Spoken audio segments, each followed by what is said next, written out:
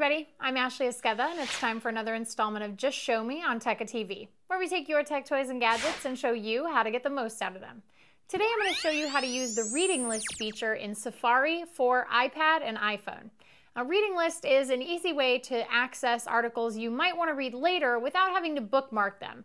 I tend to use bookmarks for sites that I visit over and over again, but an article you might just want to save for one more time and then you're done with it. So let's put it in reading list. Let's have a look. From your iPad or iPhone's home screen, open Safari. Once you're in Safari, navigate to a page that has an article that you really, really like and want to check out, but don't quite have time for it right now.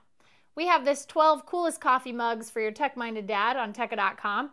I want to go ahead and read this later because I like to buy my dad coffee mugs no matter what time of year it is. So what we're going to do is we're going to actually tap on the arrow coming out of the rectangular box on the top of our screen.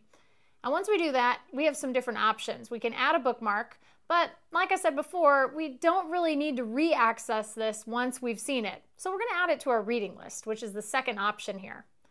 Once we've done that, we can re-access it later. Let's say we close Safari out and we reopen it later or we've restarted our iPad or iPhone. And all we have to do is tap on the book icon next to that arrow icon.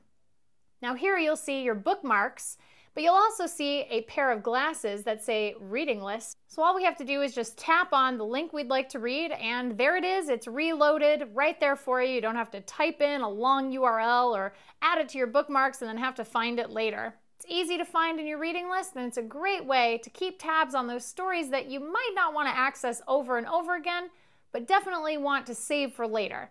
That's it for Just Show Me on Tecca TV. Be sure to check out Tecca.com for all of our other content, and we'll see you next time.